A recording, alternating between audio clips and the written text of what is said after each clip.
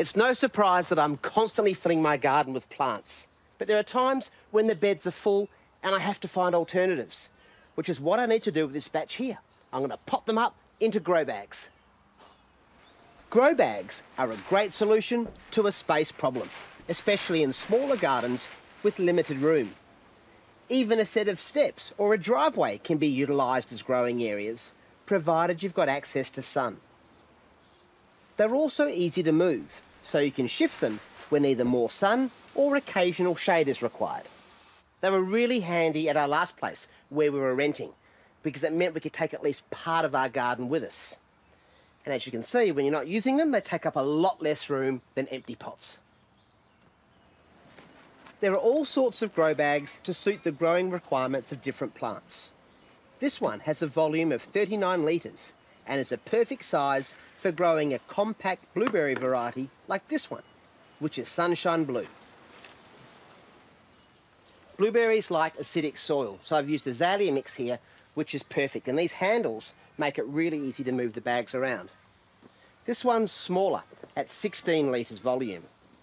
Have a look at the walls. These are actually made from recycled plastic bottles. It's a spun fibre, which means that water easily passes through it, but also air gets in.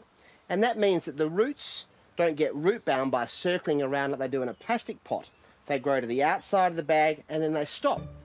I'm using a general purpose premium potting mix here, which has excellent drainage and is perfect for lavender and an underplanting of common thyme. Grow bags not only come in different sizes, they also come in different shapes and materials. This one's square and is made from jute, but it also has a waterproof lining, which means it's good for plants that like slightly moister conditions. But importantly, it's also got plenty of drainage holes so water can drain away.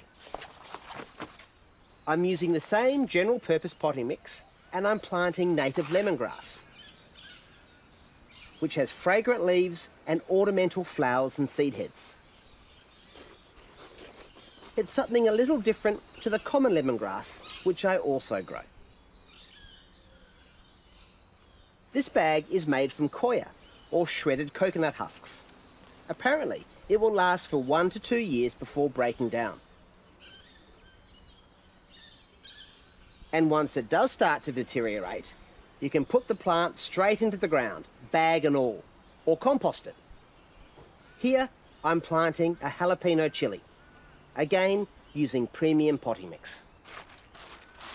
Spuds are probably the classic grow bag crop, and I've had plenty of success with this method over the years.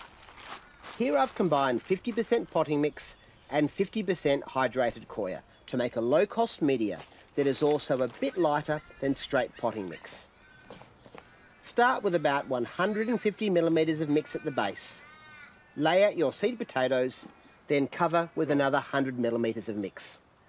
Once the seed spuds shoot, keep adding mix around the stems as they grow until the bag is full, but don't smother the tips.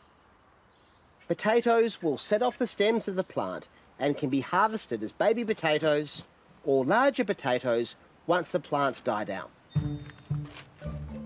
Like any plants growing in containers, they'll need regular watering and fertilising to thrive. You can see just how easy it is to add some extra gardening real estate to your place, no matter how tight space is. And by choosing the right plants, it can be productive and also look good.